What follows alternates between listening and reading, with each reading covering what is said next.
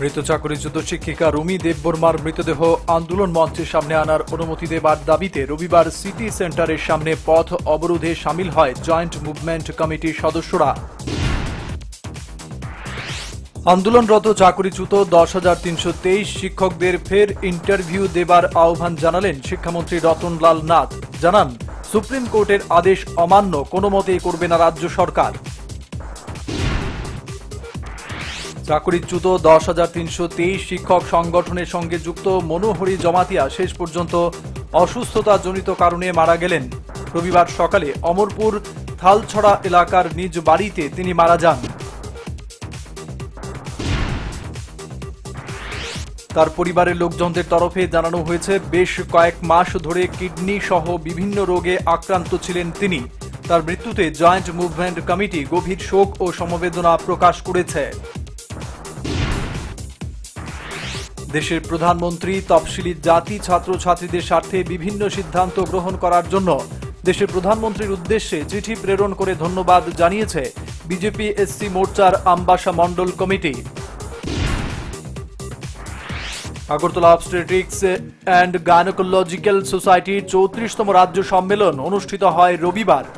রাজধানীর মানিক্য কোর্টে আয়োজিত সম্মেলনের উদ্বোধন করেন বিশিষ্ট চিকিৎসক ইলা লুই ব্রেইলের একশো বারোতম জন্মজয়ন্তী উপলক্ষে অল ত্রিপুরা ব্লাইন্ড কমিটির উদ্যোগে এক রক্তদান শিবিরের আয়োজন করা হয় রবিবার। আগরতলা প্রেস ক্লাবে আয়োজিত রক্তদান শিবিরে উপস্থিত ছিলেন শিক্ষামন্ত্রী রতনলাল নাথ।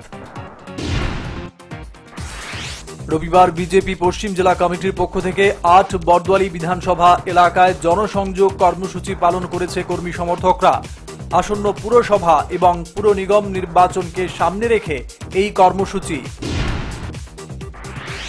বর্তমান সরকারের উন্নয়নমূলক কাজকর্ম মানুষের কাছে পৌঁছে দেওয়া সহ মানুষের কোথাও কোনো সমস্যা রয়েছে কিনা সেই বিষয়ে খোঁজ খবর নিয়েছেন জনসংযোগ অভিযানে উপস্থিত নেতৃবৃন্দ।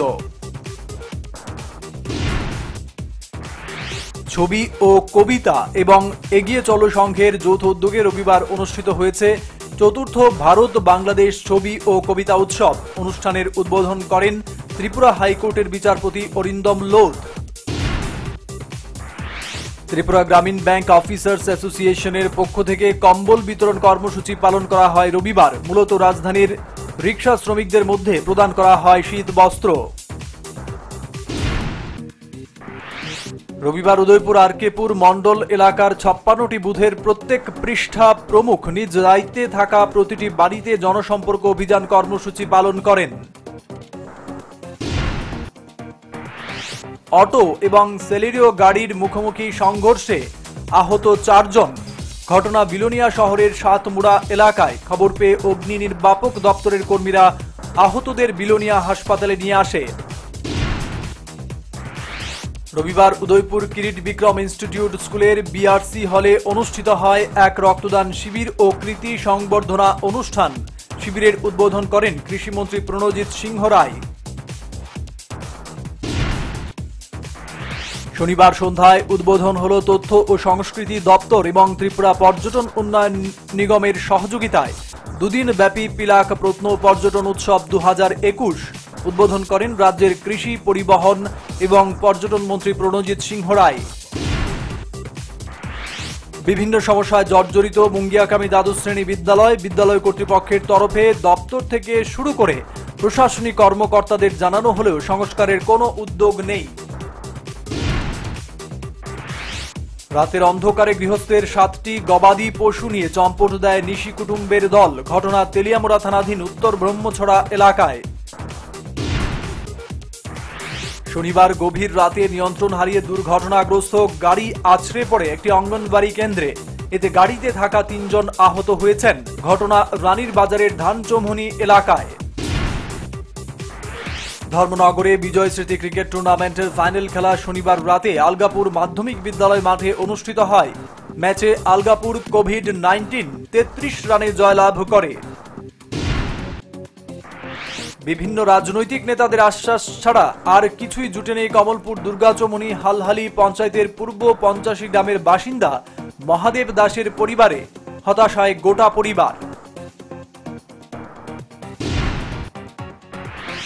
যুবরাজনগর বিধানসভার অন্তর্গত ত্রিপুরা রাজ্য কর্মচারী সংঘের তিলথই দেউছড়া ইউনিটের পক্ষ থেকে এলাকার দুস্থ মানুষের মধ্যে শীত বস্ত্র বিতরণ করা হয়। আমন্ত্রিত অতিথিরা এই উদ্যোগকে সাধুবাদ জানিয়েছেন। রবিবার থেকে শুরু হয়েছে women challenger cup cricket tournament. রবিবার এমবিবি মাঠে শুরু হয়। এই টুর্নামেন্ট চলবে মঙ্গলবার পর্যন্ত। ভ্যাকসিনের ড্রাই রানের পর কীভাবে দেওয়া হবে সেই ভ্যাকসিন সেই নিয়ে সোমবার আলোচনায় দেশের সব মুখ্যমন্ত্রীর মুখোমুখি হবেন প্রধানমন্ত্রী নরেন্দ্র মোদী। সমস্ত জল্পনার অবসান, সমস্ত জট কাটিয়ে শেষমেশ এগারো জানুয়ারি দেশের বাজারে লঞ্চ হচ্ছে ওয়ান প্লাস ব্যান্ড। ইন্দোনেশিয়ার শ্রী বিজয়া এয়ার ফ্লাইটের S J Y one eight two বিমানটি নিখোঁজ নয়। দুর্ঘটনার কারণে সলিল সমাধিস্থ হয়েছেন বাষট্টি জন যাত্রী।